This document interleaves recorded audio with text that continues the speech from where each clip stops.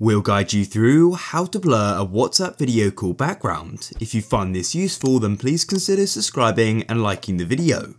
This is super useful and it can make your call much more professional. So what you need to do is quickly come out of WhatsApp and go and open up your settings like so and you need to come and find video call effects and make sure they're switched on.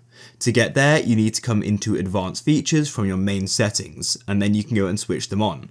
And after video call effects is switched on, you can then come back to your call and I'll just go make it full screen. And what you should do is go and note this little icon on the screen here, like a video camera with an effect icon in.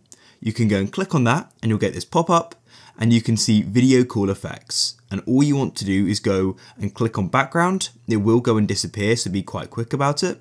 And you can then go and click on blur, like so. And you'll then go and see my background is now blurred. It's hard to see as I have got a white background anyway, but that's it. And you can always go and turn it off or use a different effect by clicking on here and changing the background to something else.